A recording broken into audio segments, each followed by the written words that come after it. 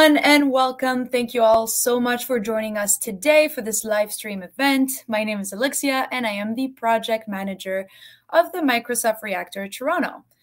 Before we begin, I'd like to quickly review two items with you our code of conduct and our, our event guidelines. First, um, our code of conduct. Um, Microsoft seeks for a respectful environment for both our audience and presenter. We encourage engagement in the chat, but please be mindful of your commentary. Remain professional and on topic.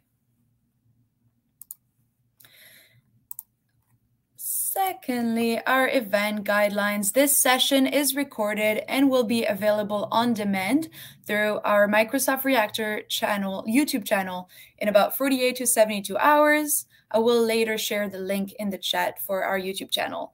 If you've not been on a live stream on YouTube before, please note that you must create an account on YouTube to have access and interact in the chat. You can set that up now. And if you're unable to use the chat but have questions, please feel free to reach out to us on our social media or on Meetup.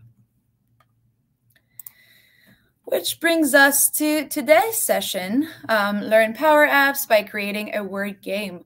We are live today with our wonderful speaker, April, which I'm going to introduce right here. Hi, April. Hi. joining us. How are hey, you? Thanks for having me. I'm doing great. Excited to be here.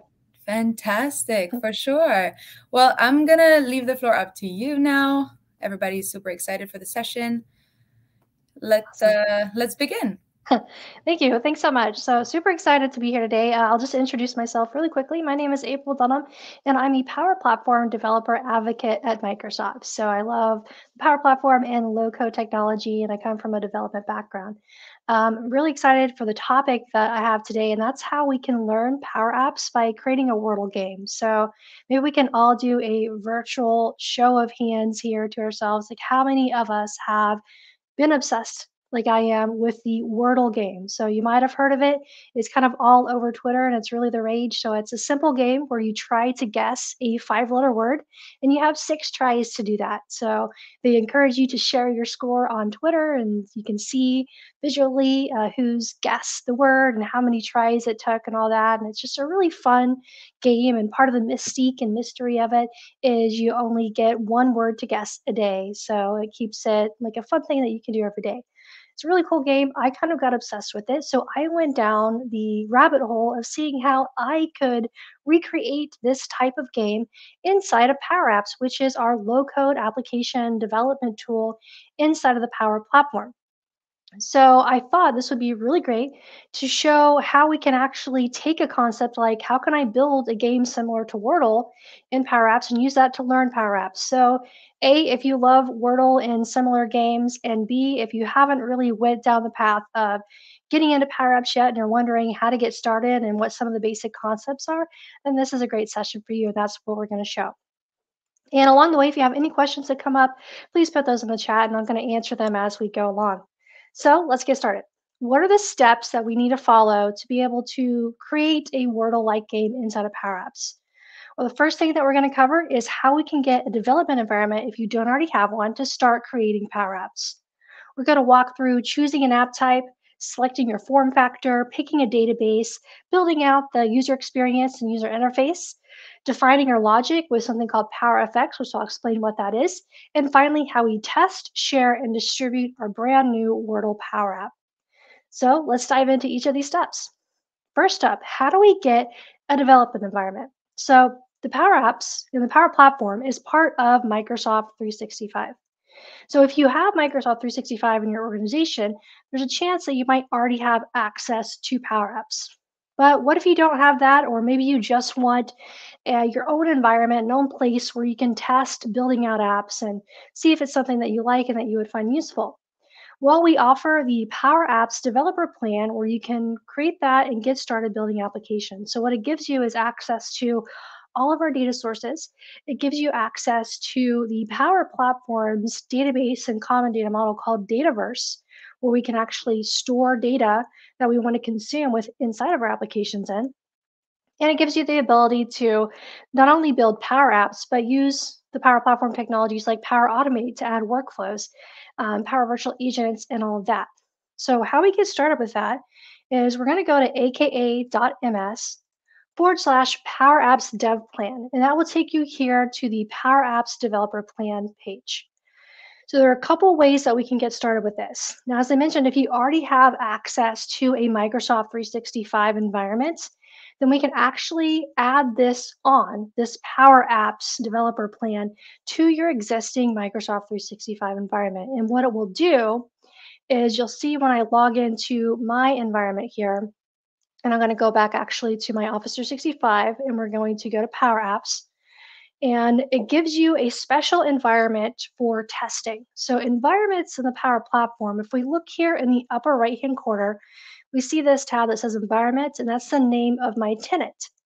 And when I click that, we see all of the other environments that we have. Now, this one called April's environment is the environment that I got as part of the Power Apps developer plan. So this is a free environment for me to do, test all the premium features that Power Apps has to offer in the Power Platform, and use that for my personal development and testing and all that and learning. So I'll get this environment created and added on. And all an environment is in the Power Platform is a logical security and data boundary. So if you have happened to use SharePoint, for example, this is kind of equivalent of a site collection where you can have different sites and users that have access to the sites and different lists and libraries. Or maybe if you use Excel, this could be kind of like your own um, Excel workbook where you could have multiple tabs and different things and data. So that's what we get with this Power Apps developer plan.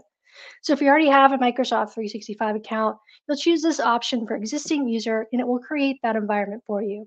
If you don't, you can select the get started for free. And what you can do is combine the Power Apps developer plan with the Microsoft 365 developer plan to get a fully functional development environment that gives you uh, access to Microsoft 365. So that's Outlook, SharePoint, and all the tools and Teams and all of that plus the Power Apps environment that we see here.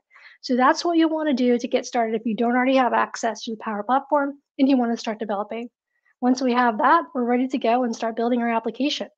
So if we look at the steps here, and we go back, there we go to the presentation quickly. So we have our developer plan set up. Now we need to talk about the types of applications. So if we haven't looked at Wordle before, um, let's take a look and just see what it looks like here. So if we look for Wordle, we're kind of going to show the game that we want to mimic here.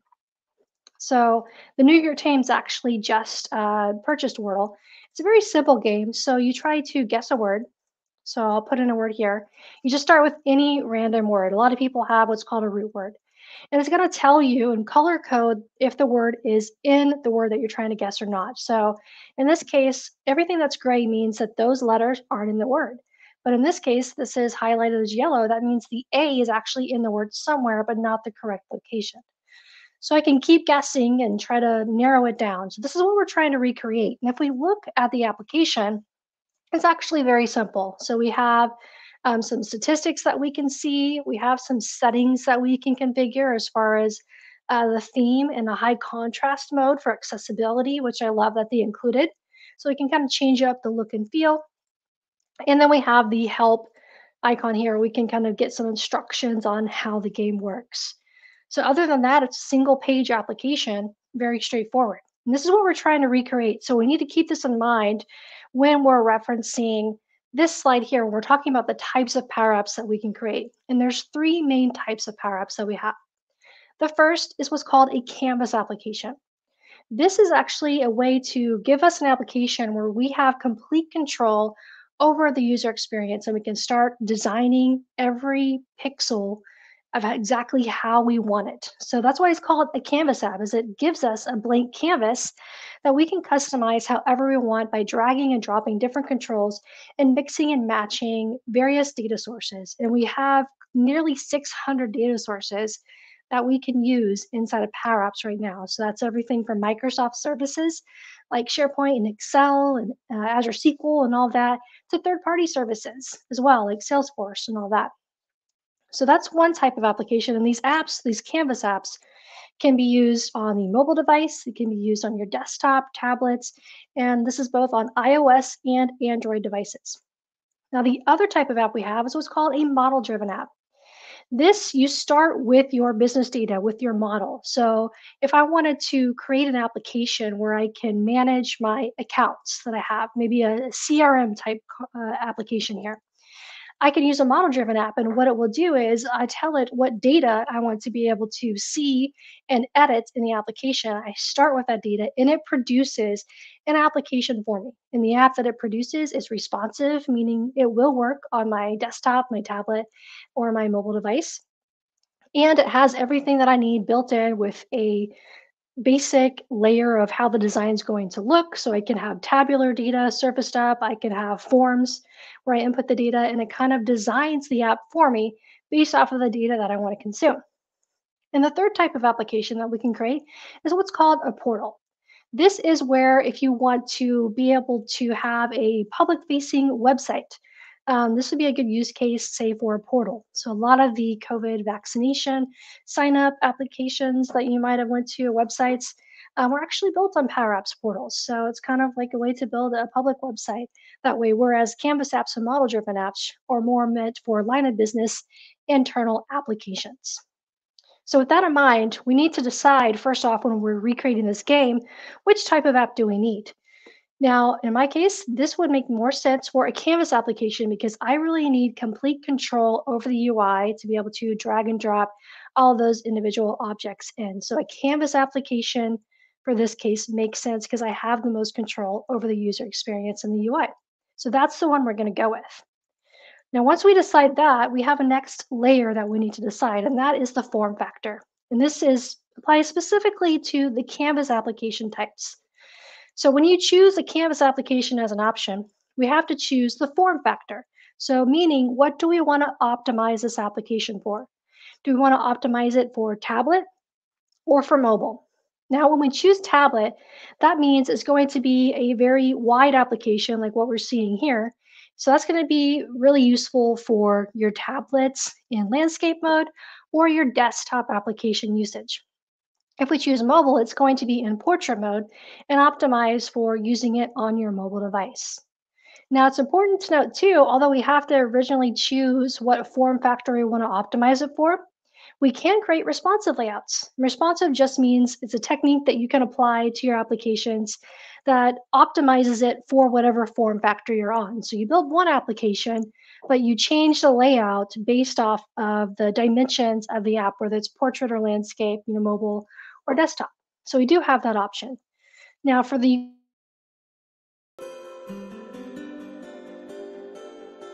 All right.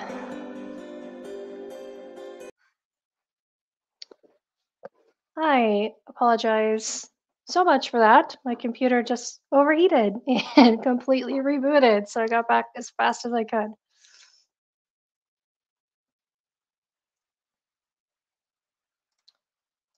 Right. So if we can get the screen going back up, I will try to pick up where I believe I left off.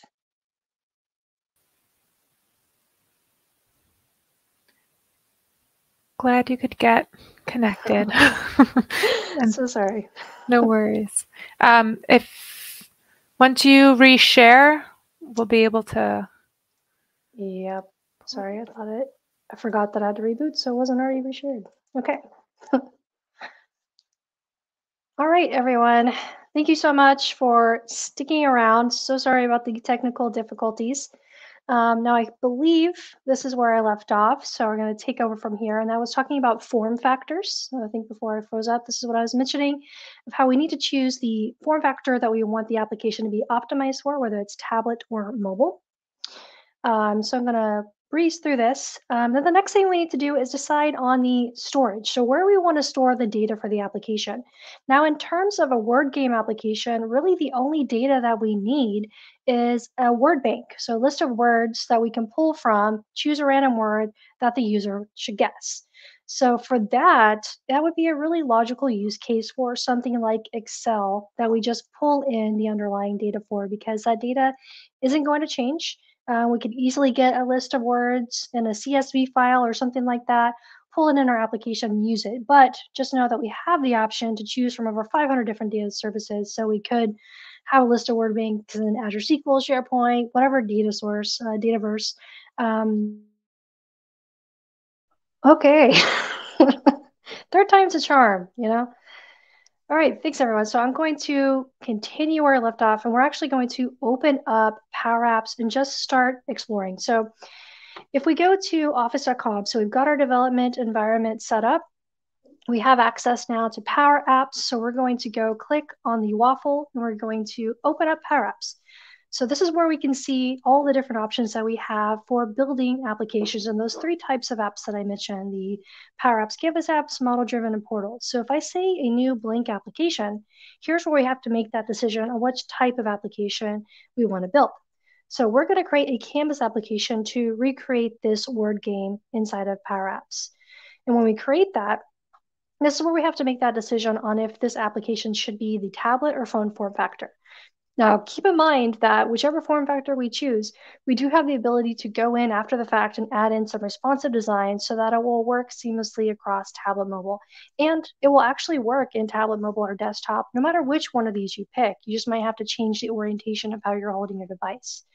So you'll choose that option here, put in an application name, click create, and that'll open up our blank canvas. Now I'm going to bypass that piece and we're going to go straight into the Wordle application that I have built here.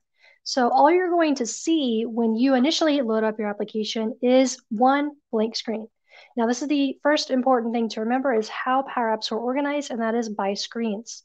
So if we go back here to the slides, these are things in the Power Apps canvas and that's what we're in now. This is called the Power Apps editor. And this is the canvas that we have to edit. So in the Power Apps editor, a few main things that I want to point out here are the fact that Power Apps are organized, Canvas apps specifically, by screens. And in each screen, we can have multiple screens in an application. That's how you logically group controls. You can have multiple controls in those screens. Up in the upper left-hand side, we have a drop-down. This is called our properties drop-down, where we can, for each control that we have and each object that we add into our Power App, we can define and have all these different properties that we can configure. We also have on the right-hand side a quick list of properties to configure per each control as well. So this is kind of a shortened list of the properties, whereas on the left-hand side, that's every property that we could configure. And then where we're going to be spending a lot of time here um, in the Wordle application is in the formula bar. This is where we're going to enter in logic, and I'll explain here in a little bit how Power Apps, Canvas apps handle the logic piece. And then the other things we want to point out here as well is how we're going to add in controls. Well, if we see there's an insert option here in the upper ribbon, and when we click that, we have all of these individual controls that we can add inside of our application. So everything from buttons and labels to complex controls like camera controls and images and signatures and all of that. The other things we'll want to make sure that we know where they are is how do we add data sources? That's here in what we call the tree view. And we have this little cylinder icon, and that's what allows us to mix and match and add different data sources into our Canvas applications.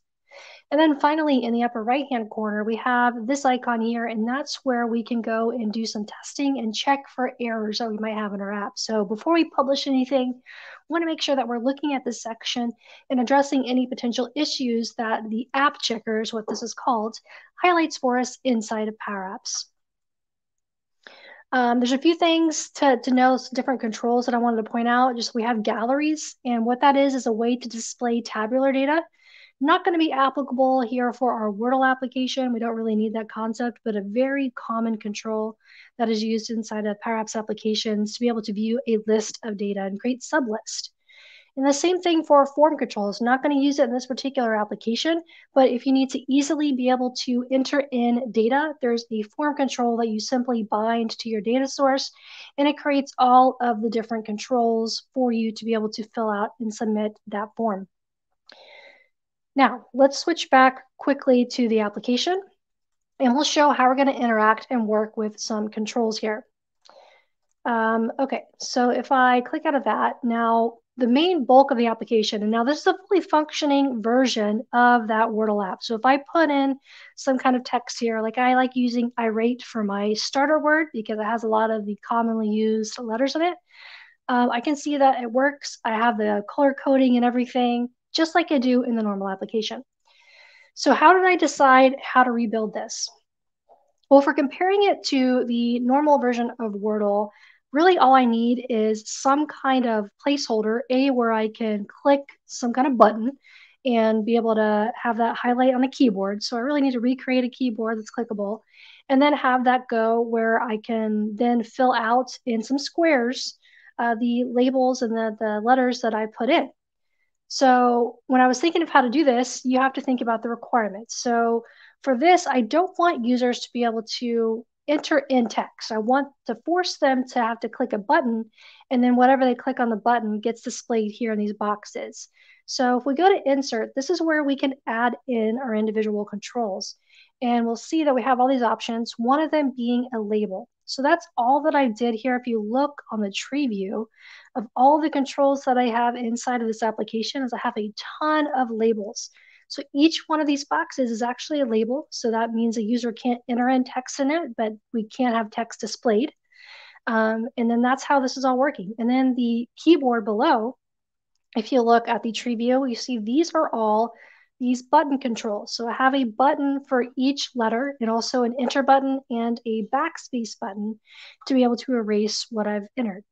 So from a UI perspective, it's really as simple as that. I have some labels and I have some buttons, and we can get really complex too with um, the concept of pop-ups and, and, SVGs. That's another thing that uh, we can do with Power Apps as well is put in a special image type called a scalable, scalable vector graphic um, inside with the image control here. So if we go to insert again and media, we have a special control called image. And that's what I'm doing with these icons here. So we have out of the box icons that we can use. If we click on the icons button, we have all of these icons built in the Power Apps, which are great. But we just have the ability to extend it even more if we have an icon that's really special and it's not included in the list of icons, we can add in our own. So it's really cool that it's very flexible like that and extendable. So how do the main part of this though, it's really simple to get the interface down. I just added in some labels and some buttons. But the complex piece is how do I do the logic? How do I make it so that A, when I click on a button, it's filling in these labels and it's actually going to go and check against um, a word that I have randomly selected and see if it matches and all that. Well, to break this down, first thing we need to understand is how am I even getting in the list of words? So that's where we went to the data source tab, like I mentioned earlier. And what I did is I just went out and I found a word bank, a CSV file of over 30,000 five letter words. Yes, there's that many five letter words in the English language here. And I took that file and I went to add data and if we search and add data, these are all the connectors I was talking about, all the different data sources that we can connect to. And we have two different options for Excel if we search for that. We have Excel Online and we have import from Excel. The important thing to understand between these two options is Excel Online would be directly bound to an Excel workbook stored on OneDrive or SharePoint, whichever one that you're connecting to. So it has a relationship built to that file stored online. So you can write data to it, you can retrieve and kind of use it as a quasi database. Now, the import from Excel, that means you're importing in data, static data that won't change. You'd only want to use this for data that you don't need to write back to and that isn't going to really need to change. Now, in my case of these words, I just need to get in the list of words and they're never going to change. So the import from Excel option was a good approach. And that's what I did. I just associated it to that spreadsheet that I have with the list of words and I imported in. And now I can use that inside of my application as you're seeing here. But how do I do all this logic? Well, that's where this formula bar, like I was mentioning earlier, comes into play. Now, before I go into the formula bar, we need to understand how this works. So we have the, there we go. Um, so I thought my computer was crashing it. We have the uh, something called Power FX. And what this is, is the low code language that Power Apps, Canvas apps use to be able to add logic into your applications. And the cool thing about this is it's based off of Microsoft Excel. So it's not like having to go out and take a course and you know spend years of your life learning how to uh, do a traditional coding like C sharp or JavaScript or whatever it might be. It's more if you know Excel already and if you know some of the formulas in Excel, like being able to concatenate and left and right and all those basic formulas, then you can start building Power Apps and using those same formulas and um, logic that you have in Excel and apply that to Power Apps. Um, so makes it really accessible there. Now, how does it actually work? Well, PowerFX is great because it takes care of the fact that it's asynchronous. Uh, it takes care of delegation, meaning it knows what to send to the server. It can do projection, and it only retrieves the data that is needed. So these are delegable queries. Um, it has the same syntax, like I mentioned, as Excel. It does type checking. Um, it runs only as needed um, has the same formulas for databases and local tables and even error handling. So this is an example of what a PowerFX formula would look like. If I wanted to have a simple message that says hello and returns the current user's name, I just can literally type in the text hello in quotes, um, do an ampersand, and use a lookup to look up data from my database and return the name. Now, the JavaScript equivalent of that, as you can see, um, would be fairly complex, but it's a very simple and succinct formula with PowerFX. So again, just another example here of the same PowerFX formula and what it will look like in JavaScript, and in this case in SQL. Um, so very succinct, very easy to use and get started with formula language um, for building Power Apps. So we need to have a good understanding of PowerFX to build out this Wordle application. So first thing I want to show is the button. So the bulk of part of what I want to do is when I click a button, I want it to be able to surface up here in these labels. So if I take any one of these buttons, like say the E button, you see that if I use my property dropdown, I have a property called onSelect. This is allowing me to define logic that should occur when I select one of these buttons. And one of the things I'm doing is I'm using PowerFX and I'm using a function in PowerFX called collect. And that's just a way for me to get data and store tabular data locally within my Power App. So I want to create a collection of letters that have been guessed. So I'm going to take whatever the text is from this button and I'm going to check it against letters that have already been guessed and uh, put that out there into a collection. There's different code that we can do. So with PowerFX, we kind of explained briefly what it does. Um, but the concept that I just showed there with the collect is by using uh, variables essentially in collections. So we have different ways that we can track progress and do caching inside of Power Apps. And that's one with global variables. So the scope of these are app wide. So this would be really good if you need to say get a user's name and you might be using it in multiple spots throughout your application. Um, you can use a function called set, S-E-T, and give your variable a name and pass in some data and use that throughout your app. There's another type of variable called a context variable, and that is limited to a particular screen's scope. So if you needed to have some kind of local variable to where you're only using within a certain screen, um, you could use a function called update context and set the variable that way. And then finally, what I showed you with the collect function uh, is called a collection. Those have app-wide scopes, uh, but they're meant for tabular data. So whereas these variables with the set command and the update context functions are meant for more uh, singular record data. Uh, collections are meant for tabular data. And there's a few different functions that we can use for that. So there's collect, like you saw me using. There's clear, that's how we empty out the collection. There's clear collect, which basically takes what was in the collection and replaces it with new values. And there's update and remove. And these collections can also be used if you need to do things like caching and offline capability we can use functions called save data and load data to build in offline functionality. Now, the other thing that we need to understand as far as PowerFX and how code can be executed to do this Word application is a property called the onStart. So this is where we can put in some PowerFX formulas that run when the application is first executed. Now, this is important for our Wordle application because when the user first loads the app, I need to be able to go look out to my word bank and return a random word, and that's going to be the word that I'm trying to get them to guess. So if we go back to Power Apps and we look at the tree view and click on the App tab here, we see that in the Properties pane, we have an option for on start. And you'll see that if I expand out our formula bar, I have quite a bit of PowerFX functions going on here. So how do I get um, a random item from my word bank? Well, there's a PowerFX function for that. There's a function called rand between.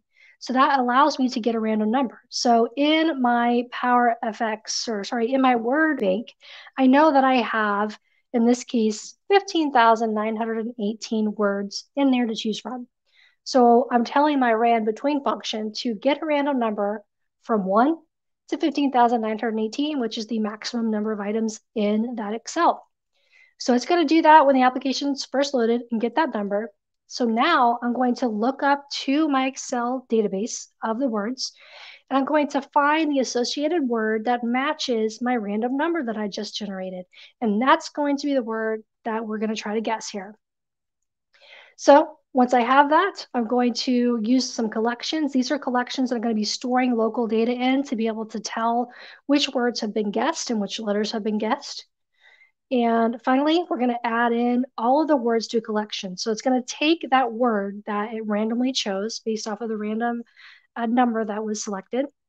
And it's going to output each letter in that word to a collection that we'll compare against to tell if the word letter itself is in the right place in the word. So that's really all that we're doing here. Lots of great PowerFX formulas going on, and I'll leave you some resources on how to know these formulas.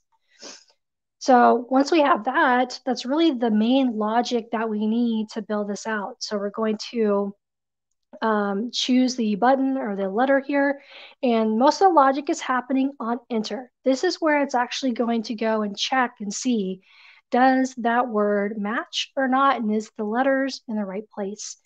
So we're going to use several power PowerFX functions here to handle this. And I don't want to get bogged down on the code because this application is available to download and use.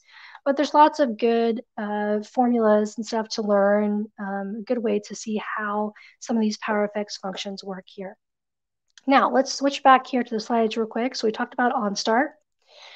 Um, the other thing going to talk about, so as you're building out an application like this, you're going to want to know how to debug. Now, if you don't come from a development background, debugging just means trying to figure out if there's any errors and resolve those errors inside of your application. Now, Power Apps makes it really simple to debug because it does things in the formula bar, like be able to tell us the data types that we're working with and even see live previews of some of the data. So if we go back to Power Apps here, for example, and I look at my enter button and some of the code I have going on, you notice that I have some uh, color codes and stuff. I can see real time if I hover over some of these values in the formula bar, like what exactly that value is. So for example, maybe on this E button, if I look at its fill, this is a good example. So that's the color of it. You notice that the color changes based off of if the word is in the word or not, if the letter's in the word. Now you see I have these different color values. Now, do you know what this hashtag F38D4B color is? I know I don't off the top of my head, but if I hover over and click it, the formula bar gives me a live preview of that color. So this is something that you'll want to use as you're developing Power Apps to check and make sure that your formulas and everything are correct. So really handy to have. Uh, the other thing that's really handy when we're trying to check our applications is the app checker. Now, this is what I mentioned earlier. It's this icon here in the upper right-hand corner. And if we look, it's going to tell us if there's any issues with your formula. So that's your Power FX functions. Uh, runtime errors, meaning when your application is initially loaded. Are there any issues? Um, then we also have performance and accessibility. Accessibility is really important to make sure that you're building applications that are usable by everyone. So it's going to highlight any potential issues. So like I just built this and you see that I have some focus issues. And if you click on it, it takes you right to the section where you need to go and fix that issue, which is really handy. So once you build out your application like this, you run through and you look at the results here of the app checker and see if everything's good. Now you're ready to share it out. So we've looked at the app checker, we resolved that. Now, how do we share it? How do we make it discoverable? Well, an important part is to set the app description and icon. So if we go back here and click on settings, we'll see that here's where we can put in the description for the application. So you want to make sure you have this filled out so people know what they're opening. The app icon is also important. I created a custom icon for this and I set that here, as well as the icon fill and background. So you'll want to figure configure those settings there to make sure it's discoverable. And finally, now it's time to publish. And the cool thing about Power Apps is it keeps a version history. So it's in a way similar to documents that we have on OneDrive or SharePoint, where you have a version history of every change that you make. Um, so if you ever something gets messed up, you can always revert back to a previous version and it keeps that history here. Once I'm ready to share this, all I have to do is save it out and we'll have a publish button. So once that's published, this version of my application will be live. And now all that's left to do is we see we have a share icon. And this is where I can share it out to people in my organization. And if we look at some of the sharing settings um, here, you see that right now only I have access, but we can share with individual users, we can share with security groups, or even there's a shortcut for everyone if I wanted everyone in my company to be able to use my application. So you can see we can choose whether to send an email invitation, and we can share this out, and then everyone is able to use my Wordle Power App that we just created. So I know we've had um, I think we're about at time here. So what I want to leave with here is some resources on how you can get started with this. Um, if you're new to the Power Platform, this is a Udacity course that I highly recommend that takes you from start to finish how to get started with Power Apps, Canvas apps, Power Automates, and AI Builder. Um, there's a good learning path on the Canvas user experience for Power Apps that I highly recommend taking. And then the bulk of knowing how to recreate this app is knowing how PowerFX works and what formulas are available. So there's a resource that I provided here on all of the formulas and how they work for PowerFX. And finally, if you want to learn by taking the application that I built and seeing how I did things, I do have it available on the Power Platform PNP Patterns and Practices repo. And there's a short link to download that. So you can just install that in your environment and see how it works. So thank you so much for sticking around and for joining me today. I hope you found this helpful. Um, and I'm going to see if there's any comments quickly in here. So I was trying to get through that. It looks like um, I don't. Okay, someone asked about the word dictionary, so let me just open the uh, address that really quickly.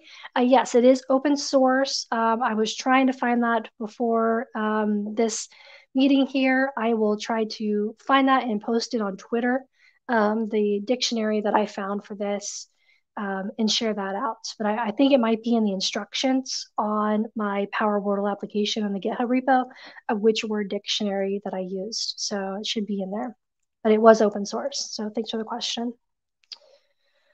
Um, okay, I think that was the main question that I saw. So um, if that's it, just thank you so much for for joining, and uh, hope you found it helpful. And reach out on Twitter if you have any questions.